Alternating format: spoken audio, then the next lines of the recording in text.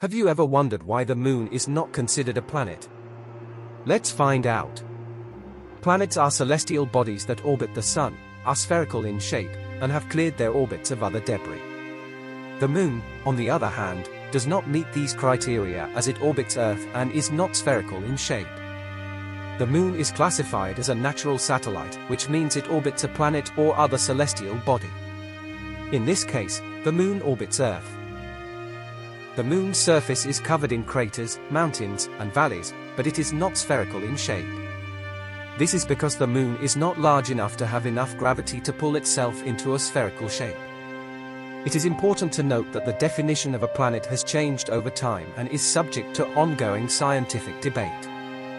However, according to the current definition established by the International Astronomical Union in 2006, the Moon is not a planet. So there you have it, the Moon is not a planet because it does not orbit the Sun and does not meet the criteria for being a planet.